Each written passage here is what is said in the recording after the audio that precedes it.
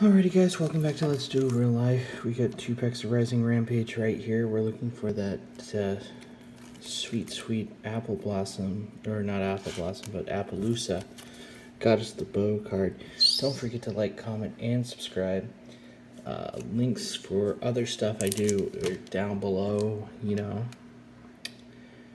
And on top of that, we're giving away a Detective Pikachu Blu-ray at 300 subs, so check that out. So let's go ahead and get into our Rising Rampage. First off, we got Return to the Normal, Yosin Sabu, Sexet Summon, Full Store, Avita, Rebuilder of the World. That's cool. Vic Viper T3. That's a that's a reprint.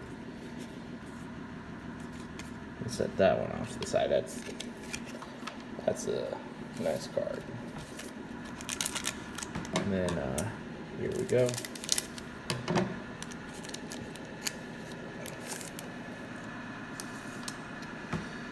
And again, this is from our booster box that we bought the other day.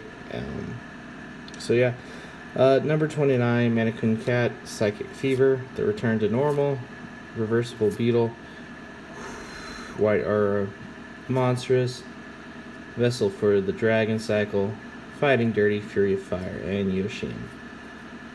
So, we didn't get the card we wanted, but we got some good stuff in here. Um,